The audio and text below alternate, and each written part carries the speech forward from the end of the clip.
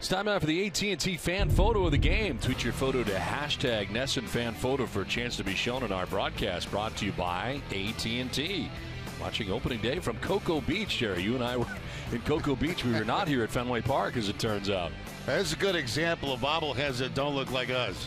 Well, You know, yeah, there they we, were talk- we were talking about David Ortiz last night. yes, Well, that's that the, looks like us. I'm Yeah. pretty sure that's us. Those bobbleheads right there. that's the shake that we do uh, for the. That's the head nods. Getting ready for NST tonight.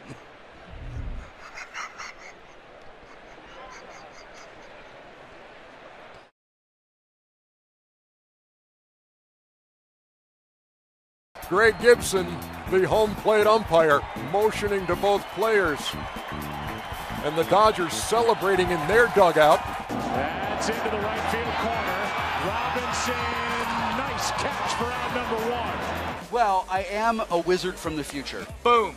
I'm a real doctor. You had your walk-up music created, who would compose it and or sing it, and what kind of music would it be? Uh, you know what? That's a good question.